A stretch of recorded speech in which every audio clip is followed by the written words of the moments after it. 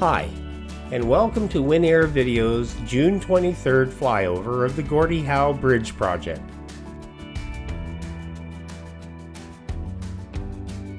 There is always something new happening, and today's video won't disappoint. The Gordie Howe International Bridge is now approximately 95% complete, with construction crews making significant strides since May 2025.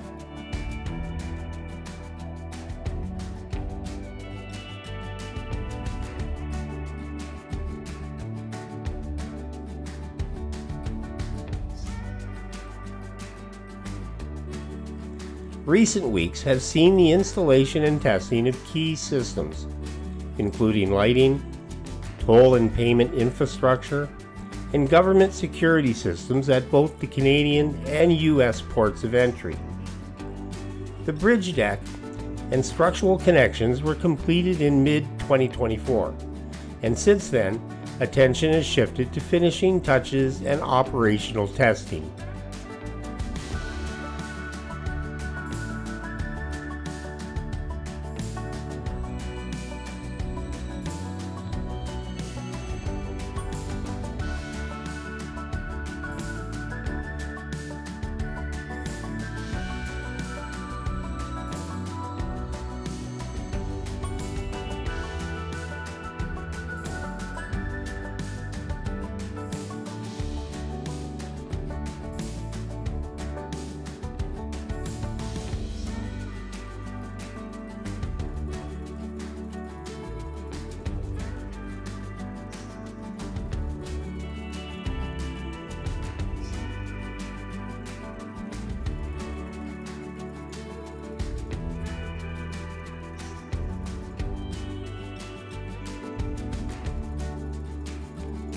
A major milestone this month is the nearing completion of the modular expansion joint between the road approaches and the bridge deck.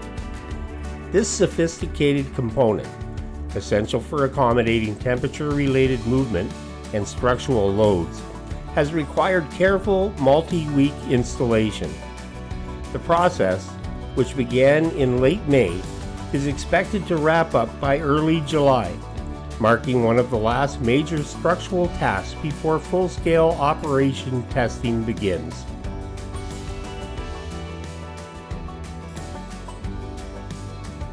Signage for traffic management is now being installed throughout the project area. This includes overhead and roadside signs guiding vehicles to the bridge and through the new customs plazas, clearly marked lanes for commercial trucks passenger vehicles, and the new multi-use pathway for pedestrians and cyclists. Directional signage at the Highway 401 interchange, ensuring seamless entry and exit for both eastbound and westbound traffic.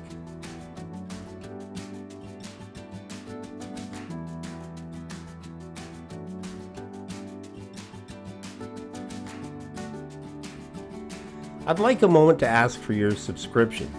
It's a great way to support the channel and really does help reach more like-minded viewers. It's free to subscribe, so click the subscribe button and join our growing community. I do appreciate your support and look forward to your comments.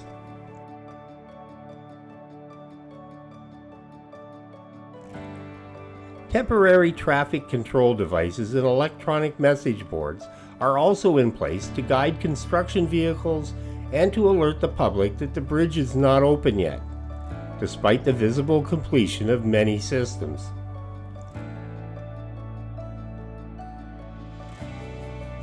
Stormwater management ponds and green spaces are taking shape, with some areas showing significant growth in coverage thanks to favorable spring weather.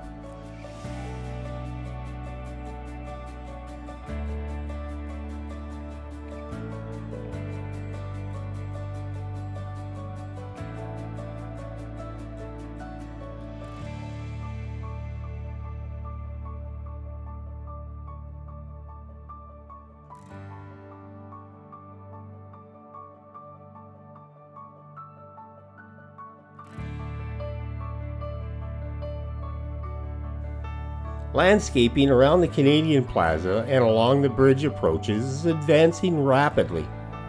Newly planted trees, shrubs, and pollinator friendly prairie grasses are already beginning to fill in, softening the appearance of the infrastructure and providing early habitat benefits.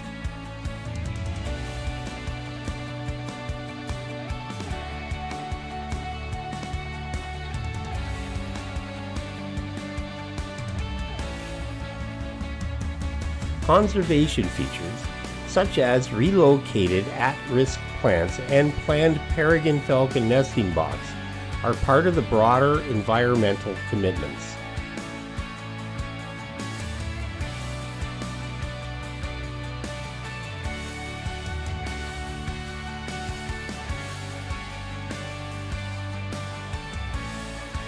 Lighting installation is one of the most anticipated features this summer. System-wide testing of thousands of white LED lights on the bridge deck, towers, and plazas has begun and will continue through the summer months. These lights serve dual purposes. Functional illumination for safety and security across the bridge plazas and approaches.